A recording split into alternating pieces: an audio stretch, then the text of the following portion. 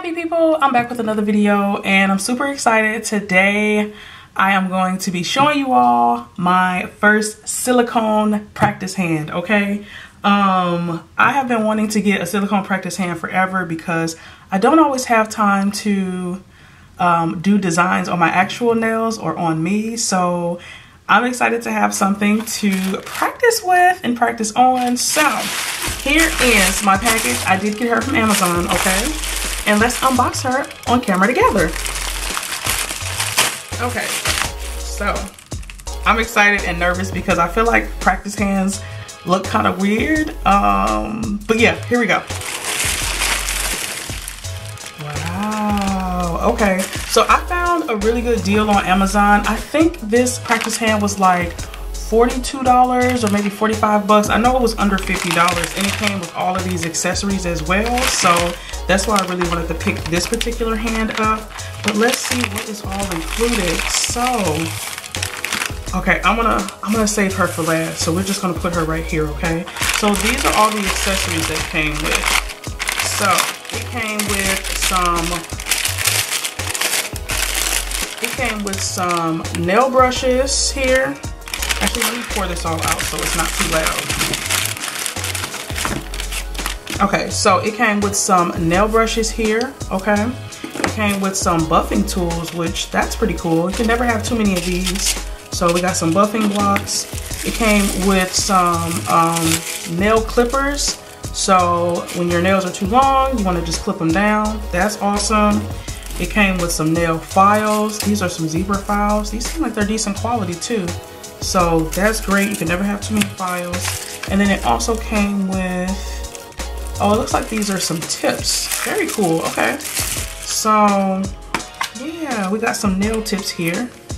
So let's see, that will probably go on this hand here. So it came with some nail tips. So I'm assuming this is probably what's gonna go in the practice hand. I'm not really sure, but the star of the show. Let's move this out the way, you guys. So yeah, this feels kind of weird, but here we go.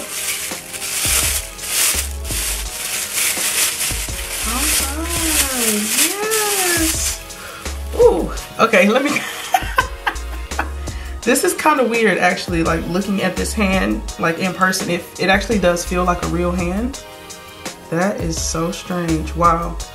It looks really nice though, cool. Look at the veins on it. Okay, look at the detailing in the knuckles and such.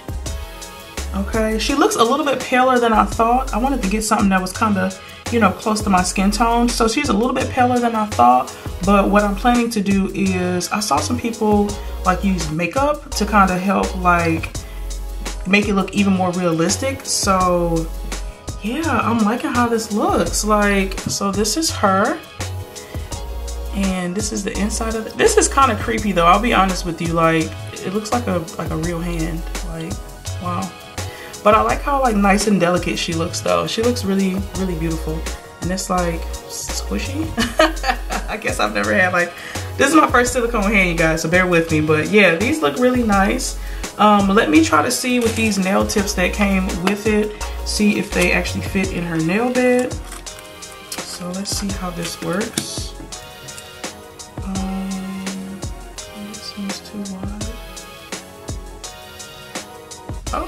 Fit. Nice. Okay. So yeah, that's how they look in here. That's pretty cool. Um, I feel like natural colored tips might look a little bit better on her. Yeah, so that's how it looks in the nail bed here. This is really pretty and really cool. So yeah, you guys, this is actually my first practice hand. Um, let me know what you think about her. I am going to put her to use and do like some different designs and such with her, but let me know what you think.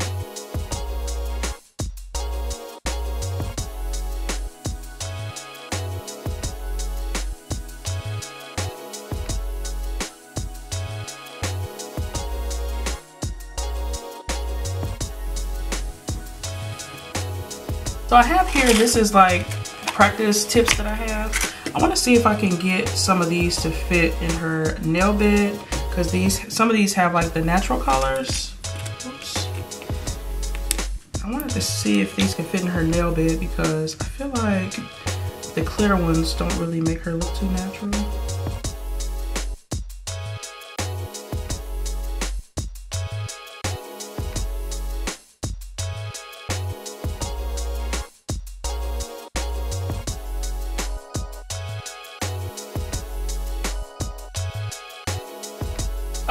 So now I have her nails all inserted here. I just went ahead and put some natural tips onto her nail beds and this looks like a really nice practice hand, you guys. What do you think? Like her hands look really nice and delicate. Like, yeah, I'm happy to have this.